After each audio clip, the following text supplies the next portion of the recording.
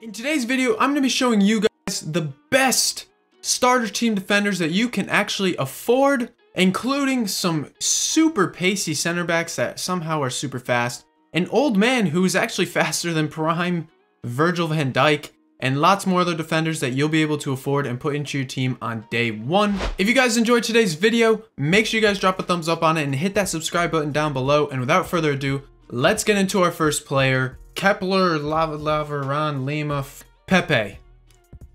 And yes, you're seeing that right. That is Pepe's pace. This Pepe is faster than Virgil van Dijk in FIFA 22. Um, I don't really know why. Um, but a lot of the defenders that we're going to be going over today have gotten insane pace boosts. And I am so serious, off league looks like the move as far as uh, starter teams go because they're often going to be quite cheap. And obviously our first one here is Pepe. 80 pace, I'm a really a big fan of that with 87 physicality and 82 defending. Now obviously we don't have every single little um, stat but Portuguese ones seem to be, you know, these Portuguese players, we're seeing a lot of their ratings. They seem to be very, very good. And, and I like it because eventually you can, uh, you know, lead up and link to Ronaldo. My price prediction for Pepe is probably going to end up being around 5, 6, 7, 8k maybe. I don't see him being too high just because he is on Porto. Um, and, yes, he's a very good card, but I just don't see him going too much more than that. Next up, we have Presnel Kimpembe. He actually, again, looks like a sick card, very similar to Pepe, but he does have a lot better links. He is 83 rated, uh, but with 81 pace, 83 defending, and 86 physical, I'm actually a pretty big fan of this card too. However, because he is on PSG, he is French, I'm probably going to see him around 20 to 30k. Um, yes, it's still starter team quality, and he'll definitely be in quite a few teams because he just looks like a, you know, rundown version of Varane. But this will be a good one when you're trying to link a lot of teams, especially between Prem and, and other leagues because of those French links. I do like Kimpembe, but like I said, probably going to be like 20, 30k. Next up, we have another really, really interesting Liga NOS card. Uh, Lucas Verismo, Ver... However you pronounce his name, Again, a really nice card that you can actually link to Pepe and then other Brazilians. Uh, 81 pace, 80 defending, and 79 physical. Again, just so off league. Again, I see this card being like 5, 6, 7k at the start of the game. I just think that these off league cards are still not going to be too much of interest. But, you know, him and Pepe at the back, that's a really, really strong back line for very, very cheap. Next up on our list of defenders, we actually have our first fullback, and that's Junior Firpo. Obviously playing at Leeds now with the Spanish links. I find these links really interesting, by the way. Uh, he only has 81 pace, 71 passing, 72 dribbling, 75 defending, and 76 physical. Obviously, we don't know the little stats. But he interests me because he is a non-rare card. Uh, he only has 81 pace and the defending's below 80, but I feel like his stats are so balanced and, and 81 pace is still very good at the start of FIFA. I feel like this could be a card that goes under the radar and again sits at around a price range of 5k. You're able to put him in Prem teams, and this is a card I think that you can get, you know, the full value of your 5k for. Like I feel like at the start of the game, this guy will well be well worth the price until you can finally upgrade to those higher tier cards. Next up, we have another player who must have grown a third leg or something. Wait, yeah, Vertonghen, guys, he has 76 pace somehow now, 83 defending, 78 physical. He's another guy that you just got to throw in the starter budget teams, you know, list because, again, 76 pace, 83 defending. He's very good. He's in that Liga NOS league again, which means you can link him to the other two players we already talked about. He just looks like a very decent, decent card to use. And again, he's only 81 rated. I can't see him being more than like 6k on the first day, maybe even less just because he's got the 76 pace and he's off league.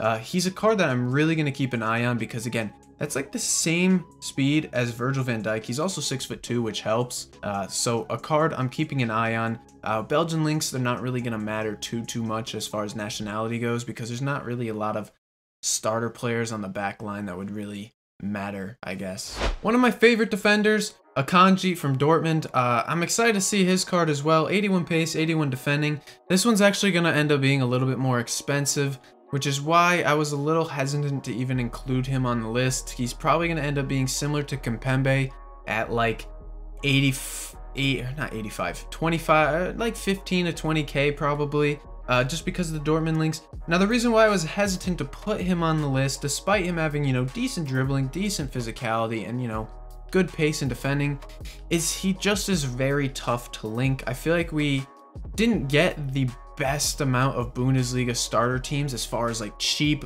budget defenders go, or even midfielders, because there's not really too much, you know, you can really link to as far as like the wingbacks go, another center back or so. I'm just not a huge fan of the links that Akanji brings. Really the only player that, you know, as far as midfielders would link to him is Emre Can because he got an absolutely insane card, which we'll be covering in the midfielders version of this video tomorrow.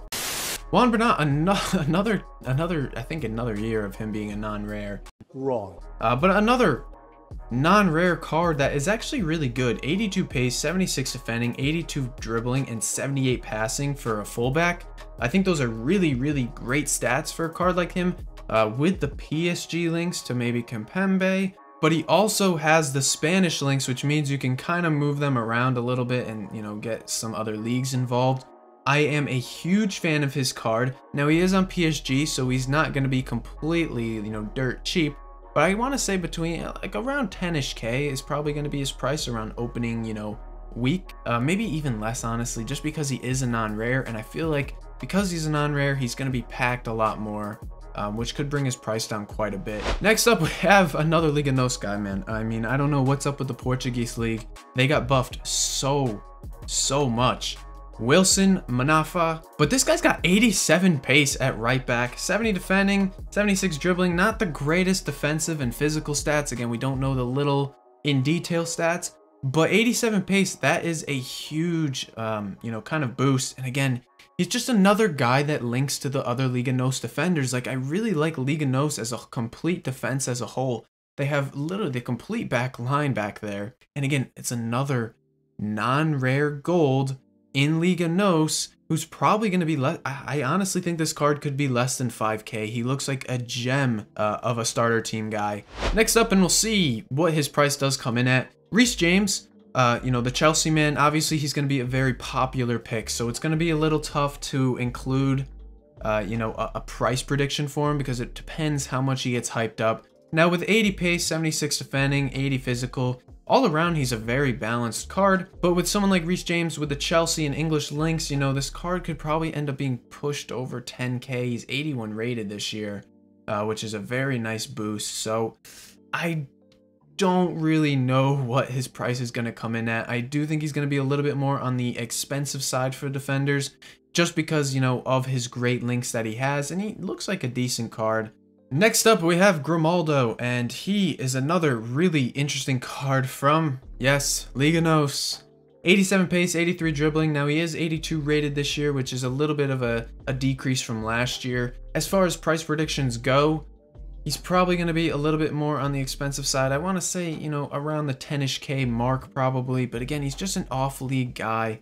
Uh, Spanish links too, which are really nice. Uh, and again, he links to all those other Liga NOS players. You know, I, I'm really pushing for a Portuguese starter team, honestly, because they looks very good on the back line of things. A very quick defend defensive players that we have. A lot of defenders got a lot of pace boost this year, so it's going to be interesting to see how that all plays out. And finally, one that's probably going to be uh, extra expensive anyways, Tomori, a Serie A defender, English links. He's going to be one that goes up uh, a good amount, guys. Uh, 82 pace, 80 defending, but again, he's only 79 rated. Uh, he only has 79 physical. His passing is not that great. His dribbling is not fantastic. So again, he makes the cheap defenders list because he's probably going to be sitting around the 10-ish K mark, maybe a little less, maybe a little more. Uh, probably honestly a little less because we don't really have too many Serie A starter guys that I really looked at and, and enjoyed. Um, but I, I like him. I think he always is a good card to use in FIFA. He was a good one last year. Obviously, he had the Chelsea links at the start of last year, so that did kind of help increase his value. So let's see what he comes in at with AC Milan this year. So that's going to wrap up today's video, guys. If you enjoyed, make sure you guys drop a thumbs up. Let me know who's going to make your starter team, and let me know if I missed any players. I mean, there there is an entire database full of them, so it, it would make sense if I did. But uh, again, thank you guys for watching this video. If you enjoyed it, drop a thumbs up, subscribe if you're new. Thank you for the support recently. It's been insane. And until next time, guys, Peace.